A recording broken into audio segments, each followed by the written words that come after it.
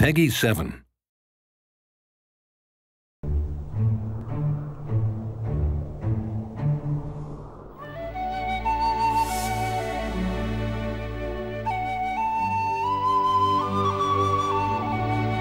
The Lord of the Rings is certainly an, an, intricate story with many diverse characters, locations, subplots, and themes which are, you know, very important to the fiction. We really feel that there is an opportunity for us to take players on a journey, a quest, which is more epic than any they've experienced before. At its heart, it is this epic battle between good and evil and the journey of the characters that, that unfolds.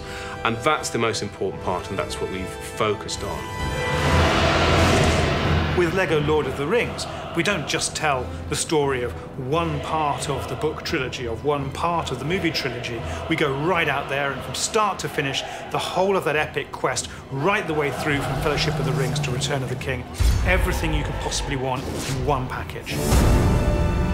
The map of Middle-earth that we've created for Lord of the Rings, an entire layout is based totally on the real map we've used that map to make sure all our places that we've got are in the exact locations they need to be. You can drop into Minas Tirith, you can drop into Dunharrow, and you can really explore, and you can find characters there, and you can find fetch quests and side missions. So one thing we're really excited about in LEGO The Lord of the Rings is the introduction of the actual movie dialogue spoken through the mouths of the LEGO figures. I think there's more to this Hobbit than meets the eye.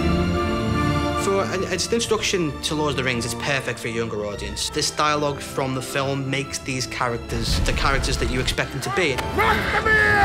It definitely adds to the experience and makes the game feel a lot more cinematic than any other LEGO games ever felt before.